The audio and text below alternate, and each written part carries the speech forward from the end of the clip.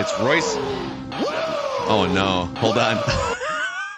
this is what happens when you let me fly the plane. Oh, it got Okay. stuck. Rick Well, Flair we got, got, stuck. uh, The- we got the a lot of Flair- woo-hoos.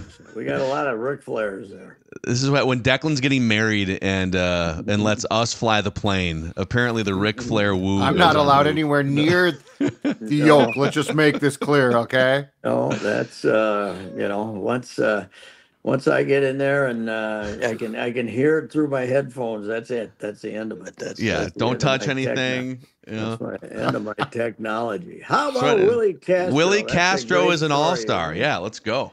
You know, the Twins, uh, I think I read this. The Twins had uh, the most wins of teams with only one player in the All Star game. The Twins had the best. So I'm I'm sure they called up, you know, the Bochy or whoever does it called up, you know, the league office called up Rocco and said, who, who, who do you got? Who should we put on the club? And, uh, and uh, I, he he recommended Willi, and the way they've used him, you know, hey, good for him. I think it's great to have a guy like that on the on the All Star team. Yeah.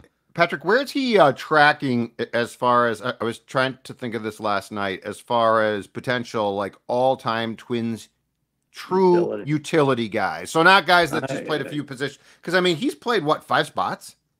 Yes, over 20 games at five Yeah, spots, so it's- that's, Or no, uh, no, it can't be over 20, over 15 or something at, at five spots, something like that. So, uh, because we haven't gotten to that, but it is. I mean, and, and center field, the funny thing, I don't, I don't like him too well in center field in contrast to Buxton, that's for sure. But, completely. but he's a little better at shortstop, and he's okay at second than I thought he'd be. You know, I, he's a little better at shortstop. He can, he doesn't have to play there often because Correa's there all the time. But he's, uh, he's, he's now he isn't hot right now. He was, he was smoking there. He was terrible for what three weeks maybe to start the year. He was striking out all the time, and then he was two months. He was great. He's a little cool lately, but uh, I mean.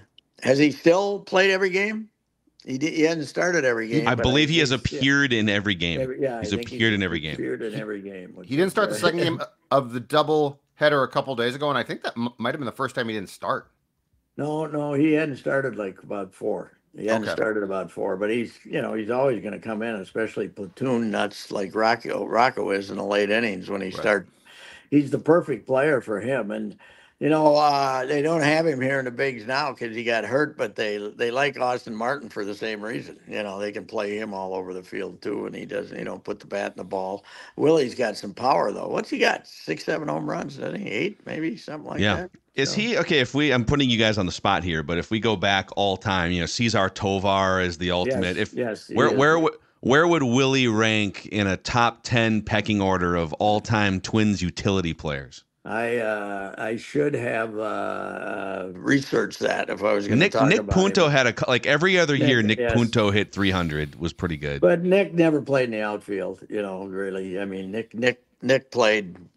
There's a lot of guys who play second, short, and third, but the Yeah. ones that throw the outfield in is uh, is is a little different animal. I'd have to look back, but I'd say the closest is Cesar. Although if you look at Cesar, once he got later in his career, he, he pretty much just played the outfield. He didn't. He, I think they started him at third base one year, and he played quite a bit there. But uh, you know, he's famous because he played every position. But uh, he was pretty much an outfielder too. I, I I'd have to look. I'm wondering. He's pretty high up. He's gonna pretty say, high. Old guy, infield, I came to the same outfield combo. I you know, I mean, I I'd have to really stretch my Jeff brain. Reboulet in the 90s Yeah, played. yeah, right.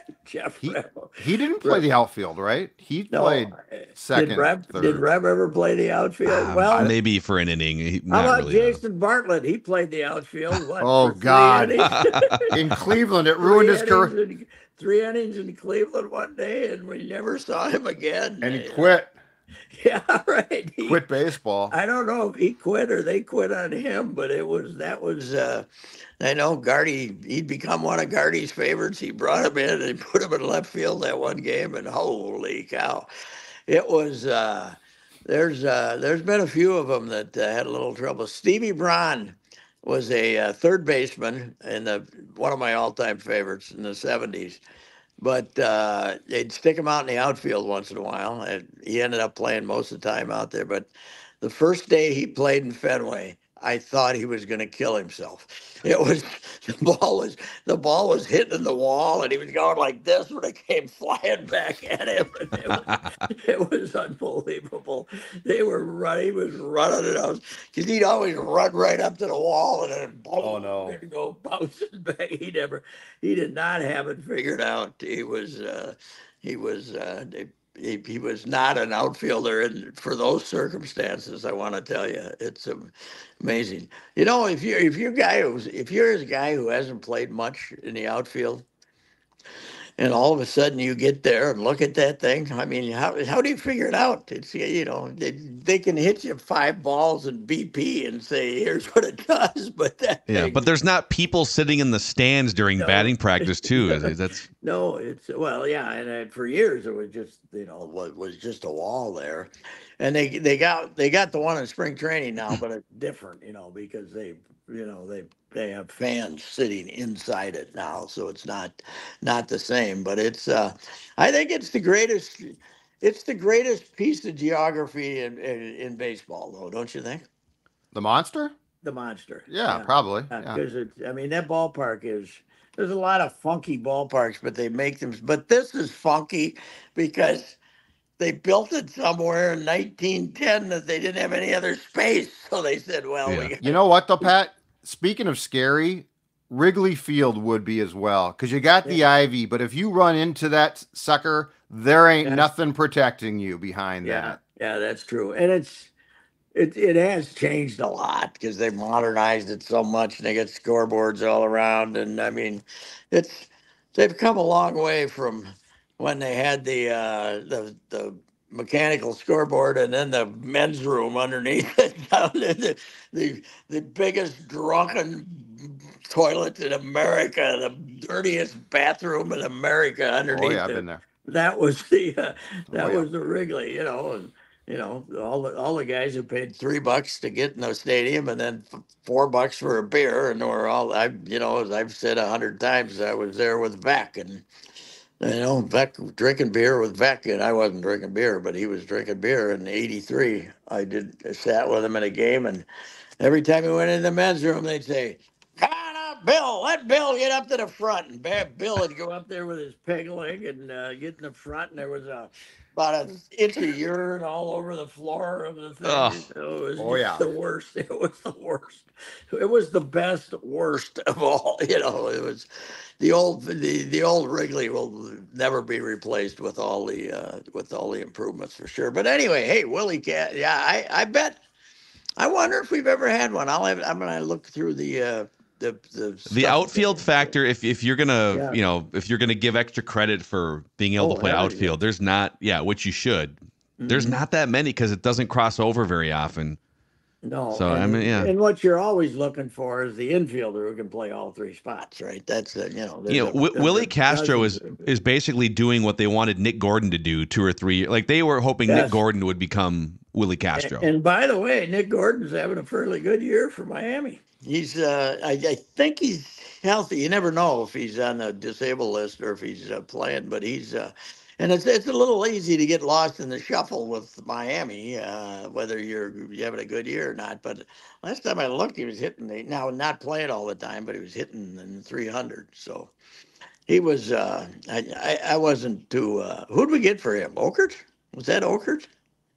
Yeah, Was was that- know. it the Oker That's trade? Okert, Okert. Yeah. I think it was Okert. Yeah, it's a pitcher. Okay. Yeah. So I don't know. What's uh, okay? All Star break, the halfway point. We're gonna call it the second half, even Wow. though we're Yeah. even though we're sixty percent of the way through the season or something, 60, 58 percent. What do we think? Are they good or not? I think they're better than last year. I do too. I do too. Uh, but they the Sonny Gray factor is uh, is tough, you know, because they don't have. But Ober and and uh, Joe Ryan are way better than they were last year. So Mhm. you know, and Ober Ober was getting ready to get shut down at this time last year, and uh, he doesn't look like a guy that has to get shut down. He's that is, I mean, he's six nine, so it, it's kind of distorted, but it looks easy, doesn't it? I mean, he just the the way he, he, he has the ball for nine seconds, and here comes another pitch. He's got the great changeup. He's got little slider. And every once in a while, somebody hits a home run off him. He just goes back to throwing strikes. So he's uh, Yeah. he's uh, he's a very unique pitcher because he what's he throw ninety three maybe that's it. Yeah. But Yeah, but it uh, looks it, it gets up on you a little quicker, yeah. and oh because God, he's six yes, nine. he's- yeah, he's, they say he's Morneau's a big guy talking about reach, and uh, you know he should know. And uh, he said that Ober's uh, what extra two feet closer to you than everybody else when he throws it when he throws. So I, I you know that's the that's the factor that right now is making up for Sonny, but they still, you know, Simeon Rid- Woods Richardson has been a key, and maybe he's good. And then uh, uh, Paddock's not going to make it to the finish line, though. I don't think so. Yeah, But they should they should plan for that now. I feel like. Yeah, They're not as they're I, I think they're a better team right now than they were a year ago in the regular season. I don't know in their current construction that they're a better playoff team. Yeah, because of the pitching. Because you don't have Gray. I'm more concerned yeah. about the starting Is pitching. there. anyone still lamenting Kenta Maeda's loss? By the way, Got moved to the bullpen. he has been I- awful. I know the Twins got nine off him, and I think he got. I think he gave up eight his next start, and they said, "Okay, that's enough. Seventeen and seventeen runs in six innings or something." Is, uh, uh, you know, I mean, they got a phenomenal season out of him during the pandemic, but uh, that's that stuff doesn't work anymore in, in baseball. I don't think. How about uh, everyone? Uh, the, I was reading the comments on. Uh, the Pirates not allowing Paul Skenes to uh, go on for his no hitter after Yeah. seven innings. Now, six pitches not- in the six pitches in the seventh was I I'm- think the I, well, plus Shelton sounded like a complete idiot because he said I could see he was tiring in the seventh. Hey, Rick, he threw seven, six, six pitches. That was uh, you should have uh, you should have looked Yeah. at it. But who knows? You know, he's such an agitator. He might have just been digging people because he knew they were coming after him. But I I think it is a good question that I'm hearing everybody. What made a hundred the magic number? What? Why is that Well, the magic number? and that's Why what- Shelton tried to say it's not the pitches. It's it's it's to your point. What I saw there. You know, it's Yeah, what they I threw saw. Six pitches. You didn't see enough. You know what? Flat out, baseball people no longer care for the most part about things like no hitters. They They don't. They, They just They don't. No, but but what We I'm do, but- saying is, if he throws six pitches, and I'm Yeah, not a guy that hey, keep him in, let him let him like. Well, how many did we have Liriano throw 140 when he got his when he got his six in, in? Chicago. was- Johan. yeah, was like 135. six- With the Mets. no-hitter. Who who was that? Yeah, Johan. That pretty well ruined him. But Yeah. uh, I don't know why it's a hundred. I mean, if a guy has a six pitch seventh, uh, know, let him start the eighth. You know, see what happens. Why, why isn't it 110? This guy's six foot six. Plus, he's got a gymnast as a girlfriend, so he gets a lot of exercise. So he's He a just, good yeah, that's not a bad point. Yeah. Yes, right. He's he's limber. You know, let's go. Yeah, no, it's. I mean, par- I feel like that's part of the appeal of baseball too. We talk about how many must-watch moments are there throughout a baseball season. Well, Yes. it used to be that somebody has a no-hitter or a perfect game going into the sixth or seventh, and it's like, oh, you got to rush over, and that doesn't exist anymore. No one cares. Yeah. ab- like like the teams don't care about it anymore. No, this guy though, man, alive. They were, you know, they were all. the- He was, he was at Air Force two years ago. He was catching and pitching at Air Force. Yeah. Then he went to LSU, and you know, West. I don't think West had to do anything, but uh, he was playing for West. But he's only this is his third year that he wasn't at Air Force. I think it's uh, it's amazing how good he is, and he's going to start. I, you, I know Dan, the commissioner's office has ordered the uh, National League to start Skenes in the first game and in the All Star game for sure. But then again, it's only an inning. He can come out and throw eight pitches. They nobody will let him come out. You can't pitch two innings in the All Star game anymore. Well, he'll look fatigued after seven pitches, so you got to make sure Yeah. Derek Shelton. yeah. Yeah. Well, yeah, he's lasted longer than his last inning here. He's pitched, he's thrown seven pitches here, but uh, he's, uh, I tell you, uh, my observation on pitching, and I told you guys this the other day. I don't know how anybody gets a hit. you know, It's when- crazy. when Yeah. you when you're. I mean, you got five, six, seven guys on every team. that can, you know, they not only throwing uh, 98 and five different pitches, but they're never in the inside middle of the box anymore. The hanger, the hanger, those gifts from God. That, nobody throws them in. How many? How many do you get? You know, once in a while, late in the game, you get the rotten end of the bullpen, but. When, when teams are using their good pitches, you don't get any pitches to hit. It's amazing. It is crazy. Yeah, these guys, you know, they they all put so much work into with there's so much information to know Yes. what the opponent's weaknesses are, and it's you wonder why strikeouts are up and batting averages are down. Well, guys aren't lobbing you know 88 mile an hour meatballs anymore ten No. times a game. No, you're not. Uh, you know, because you're not. You know, you're not expected to go more than ever go more than hundred pitches. How many did Jack throw in uh, in the? In 91, game one- seven. Let me find that that's- actually. That's one. That's one stat that we should have in our mind, but I don't know what it is. You're right. you I think it was like a Because we didn't care about pitch count back then. Yeah. In 91, we didn't really think about pitch count. Well, hey, I've told you guys this, but when I was covering Paul in the seventies, it there was no there was no official count. You know, AP didn't keep it. Nobody kept it. Herb Carneal kept it. I'd go once in a while, go in and say, Herbie, how many pitches has he thrown so far? You know, the seventh. If some guy was out there laboring, and I'd ask Herbie, and Herbie'd uh, look through his book. Her, Kirby, Herbie kept it so he could refer back that he hit a three and two pitch. You know that somebody uh, he's you know this is his third at bat, and Herbie'd always tell you what he'd done previously, and and he hit a three two pitch to you know for a base hit. So that's why he Yeah. kept it. Kept it. It, But it was a breezy 126 pitches for Jack really, Morris. that's, that's pretty good for Yeah. ten. 10 wasn't it? innings, 126 But you're right. We just didn't think of it. No, no, and uh, of course. Uh, I don't think uh, Kelly wanted to take him out because of any pitch count. It was just that the emotion of the moment. He, he had figured the guy had to be drained by then, don't you think? Uh, you're running off the mound after they pulled, turned off that double, pulled off that double play, and uh, uh, but I, I, if Paul Skenes is uh, ever ever get, he's not getting, he's not going ten. He's not going ten in a World Series game. By the way, the Pirates are pretty good. They uh, Yeah. they're starting to beat teams. They might end up in the playoffs with him. And uh, now that Jones is hurt, but uh, I've watched him a couple of times lately. They're pretty good. Hey, if the Pirates win the World Series, what kind of car should they be driving uh, up and down the parade route, Pat? a Buick or a GMC for dang sure. And if they want to, if they come to town, if you're here for a four day series, you can go out there on Monday and drive home. You you want to drive the car back to Chicago on Thursday, you can do that. Jim Paul and Brett Paul's Valley Group of GM dealers, Buicks and GMC products.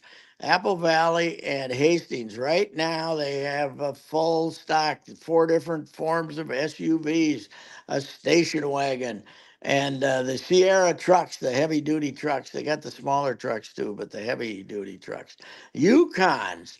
And of course, I always mention the Hummer EV because I'm still waiting to see one of those. That would be something.